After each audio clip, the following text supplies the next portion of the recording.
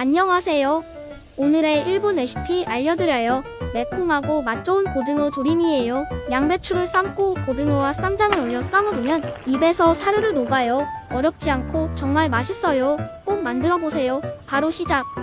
물 1리터를 넣고 육수를 내어줄 다시마와 멸치를 넣어주세요. 물을 큼직하게 썰어서 넣어주세요. 무가 잘 안 익으니 먼저 넣어줘요.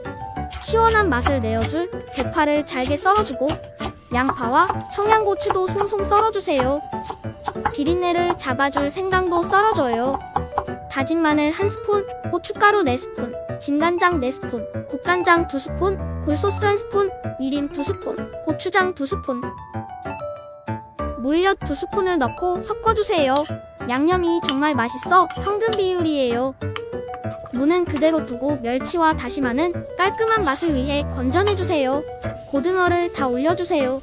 시장에서 손질을 다 해줘서 깔끔해요. 고등어 위에 양념장을 올려주세요.